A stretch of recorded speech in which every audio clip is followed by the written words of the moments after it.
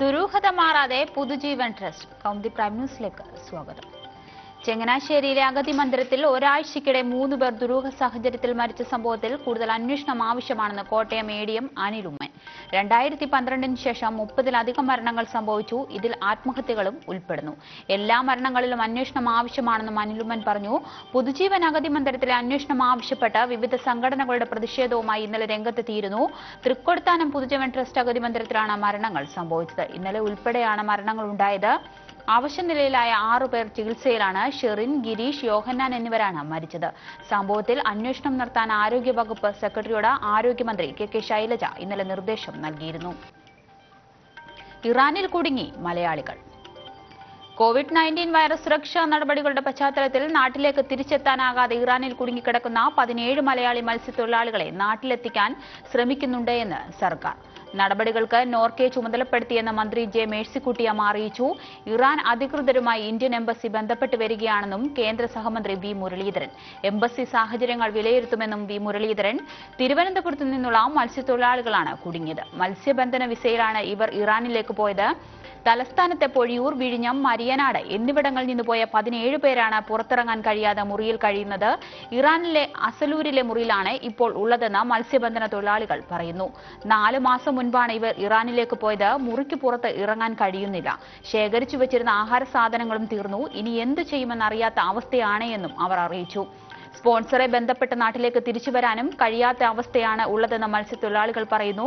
സർക്കാർ വൃത്തങ്ങളെ വിവരമറിയിച്ച് നാട്ടിലേക്ക് മടങ്ങാനാണ് സ്പോൺസർമാർ പറയുന്നതെന്നും മത്സ്യത്തൊഴിലാളികൾ അറിയിച്ചു. കുടുങ്ങിക്കിടക്കുന്നവരുടെ കാര്യത്തിൽ ആശങ്കയുണ്ടെന്ന് ബന്ധുക്കൾ പരിമിതമായ ഭക്ഷണം മാത്രമാണ് അവർക്ക് കിട്ടുന്നത്. തിരികെ എത്തിക്കാൻ സർക്കാർ അടിയന്തരമായി ഇടപെടണമെന്നും ബന്ധുക്കൾ ആവശ്യപ്പെട്ടു.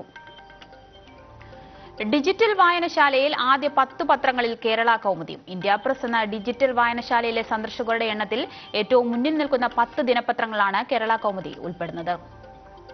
ഇന്ത്യയിലെ എല്ലാ പ്രമുഖ ഭാഷാ പത്രങ്ങളും ലഭ്യമാക്കുന്ന ഇന്ത്യ പ്രസ് എന്ന ഡിജിറ്റൽ വായനശാലയിലെ സന്ദർശകരുടെ എണ്ണത്തിൽ ഏറ്റവും മുന്നിൽ നിൽക്കുന്ന പത്ത് ദിനപത്രങ്ങളിൽ കേരള കൗമുദിയും ഇന്നലെ കേരള കൗമുദിക്ക് ലഭിച്ചത് ഒന്നേ ദശാംശം ഏഴ് ലക്ഷം ഹിറ്റുകൾ. ദൈനിക് ജാഗരൻ എന്ന ഹിന്ദി പത്രമാണ് പട്ടികയിൽ ഒന്നാം സ്ഥാനത്ത്. ആറ് ദശാംശം രണ്ട് ലക്ഷമാണ് ഹിറ്റ്. ആദ്യ പത്ത് പത്രങ്ങളുടെ പട്ടികയിൽ. മലയാളത്തിലെ ഒരു പത്രം കൂടിയുണ്ട്. സ്വന്തം വായനക്കാരുടെ എണ്ണം സംബന്ധിച്ച് അവിശ്വസനീയമായ കണക്കുകൾ അവതരിപ്പിക്കാറുള്ള ഈ പത്രത്തിന് രണ്ട് ദശാംശം രണ്ട് ലക്ഷം ഹിറ്റുകളാണ് ഡിജിറ്റൽ വായനശാലയിൽ ഇന്നലെ ലഭിച്ചത്. ഡിജിറ്റൽ ലോകത്തെ പത്രവായനക്കാരിൽ ഭൂരിഭാഗവും ഉന്നത വിദ്യാഭ്യാസം നേടിയ യുവാക്കളാണ്. ഡെസ്ക്ടോപ്പ് കമ്പ്യൂട്ടറിൽ മുതൽ സ്മാർട്ട് ഫോണിൽ വരെയാണ് ഡിജിറ്റൽ ലോകത്തെ പത്രവായന. വായനക്കാരുടെ എണ്ണം അനുദിനം വർദ്ധിച്ചു വരികയുമാണ്. സ്മാർട്ട് ഫോണുകൾ വ്യാപകമാകവേ ഭാവിയിൽ ഡിജിറ്റൽ പത്രമേ കാണുവെന്ന് വരെയാണ് പ്രവചനം. ഇന്ത്യ പ്രസിന്റെ വെബ്സൈറ്റിൽ പതിനാല് ഭാഷകളിലെ പത്രങ്ങൾ ലഭ്യമാണ്. വായനക്കാർക്ക് ഇഷ്ടമുള്ള പത്രം അനായാസം തെരഞ്ഞെടുത്ത് വായിക്കാനുള്ള സൗകര്യമുണ്ട് ഇന്ത്യയിലെ എല്ലാ രണ്ടാമത്തെ തള്ളി. സിസ്റ്റർ ലൂസി കളപ്പുരയുടെ രണ്ടാമത്തെ അപ്പീലും തള്ളി വത്തിക്കാൻ. അപ്പീൽ തള്ളിക്കൊണ്ടുള്ള മറുപടി കത്ത് സിസ്റ്റർക്ക് ലഭിച്ചു. സന്യാസി സഭയിൽ നിന്ന് പുറത്താക്കിയതിനെതിരെയായിരുന്നു സിസ്റ്റർ വത്തിക്കാന് അപേക്ഷ നൽകിയത്. അച്ചടക്ക ലംഘനം കാട്ടിയെന്ന് കാണിച്ച് സന്യാസി സഭ സിസ്റ്റർ ലൂസി കളപ്പുരയോട് വിശദീകരണം ചോദിച്ചിരുന്നു.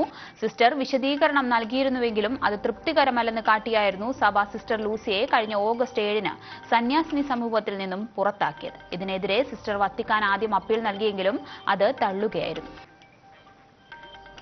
കൗമുദി പ്രൈം ന്യൂസ് സമാപിക്കുന്നു. ഒരു മണിക്കൂറിന് ശേഷം പ്രധാന വാർത്തകളുമായി റോസ്മരി ചേരും. നമസ്കാരം.